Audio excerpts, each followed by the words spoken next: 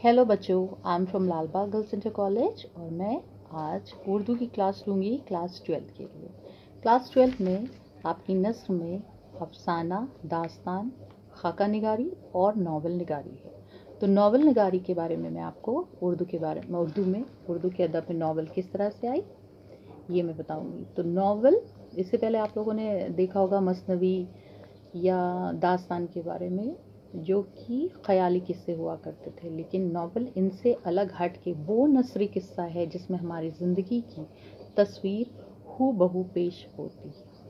पैदाइश से लेकर मौत तक इंसान जिन हालात से गुज़रता है, उसे अपनी ज़िंदगी में जो भी मामला पेश आते हैं, वो सब नावल का मौजू होता है। मायने कि इस नावल हकीकत के बहुत करीब होती है। अगर इसमें कोई किरदार ऐसा गढ़ा भी जाता है जो हकीकी नहीं है तो भी ये ख्याल रखा जाता है कि इस तरह के किस्से, इस तरह के वाक़ात उस किरदार के साथ जोड़े जाएँ जो हकीकत से बिल्कुल साथ लगें। ऐसा ना लगे कि ये कोई ख्याली किस्सा है। अब नावल वर्ड कहाँ से आया?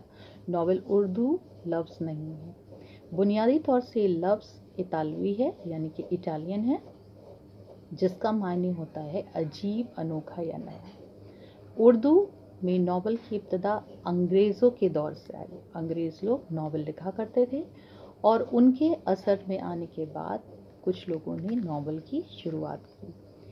कुछ लोगों में सबसे पहला नाम आता है डेप्यूटी नज़ीर अहमद का। डेप्यूटी नज़ीर अहमद बहुत ही मजहबी, ख्याली इंसान थे और अपने माशरे यानी कि समाज में तमाम फैली बुराइयों को ख़त्म करने की भी वकालत करते थे।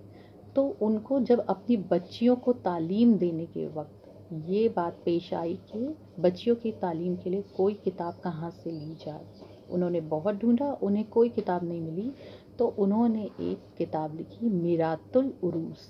तो डिप्टी नज़ीर अहमद, पहले नावल नगार उर्दू अदब में माने जाते हैं और उनकी किताब पहली नॉवल मानी जाती है जिसका नाम है मिरातुल उरूस।